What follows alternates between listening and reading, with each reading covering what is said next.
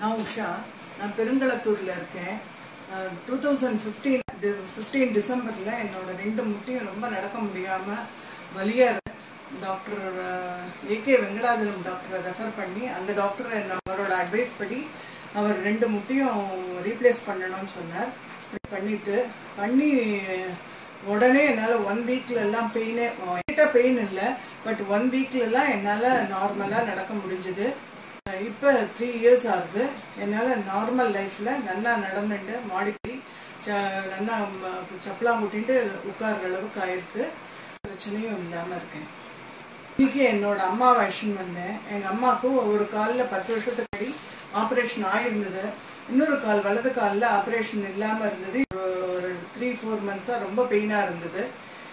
இன்னைக்கு தான் டாக்டர் பிஆர்பின்னு ஒரு இன்ஜெக்ட் பண்ணி அவங்களோட பிளட்டையே எடுத்து அதை வந்து மிஷினில் கொடுத்து இது பண்ணி அந்த பிளட்டை எடுத்து முட்டியில் வந்து ஆப்ரேட் பண்ணி பண்ணியிருக்காங்க.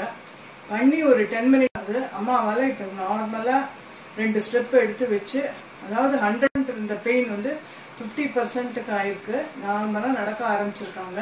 நாளையிலேருந்து நல்லாவே நடக்க முடியும்னு டாக்டர் சொல்லியிருக்காரு நட நடப்பாங்க.